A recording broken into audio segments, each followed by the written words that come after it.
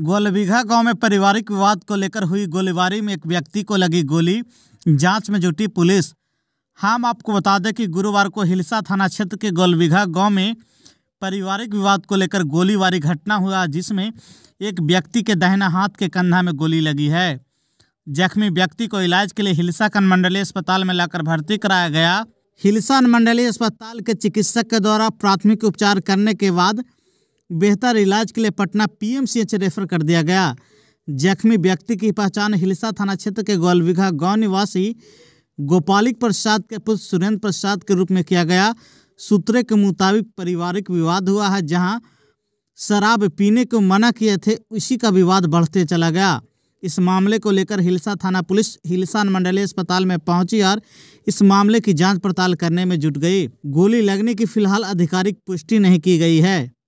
क्या नाम है सर आपका? सुरेंद्र प्रसाद। पिता का नाम? गोपाली प्रसाद स्वर्गीय। घर? गोपाल बिघा क्या हुआ है आपके हाथ में? हैं? गोली लग गया। गोली लगा है? मार दिया। घटना किस स्थान पर हुआ? है गोलबीघे में? हाँ। किसी का विवाद है? वही दारू पिए लजाली तमाना कैले तो वही आके मार दल किया तीनों चारों बाप दोनों घरवा तीनों घरवा। अला चार आदमी से। एगो बुढ़वा काय के बिना मारले ना सुनते। मार दल क्या था? सब हले हाथ सामान ले। गाँव के आदमी है गोतीवे सा गोती ही सब मारा। हाँ।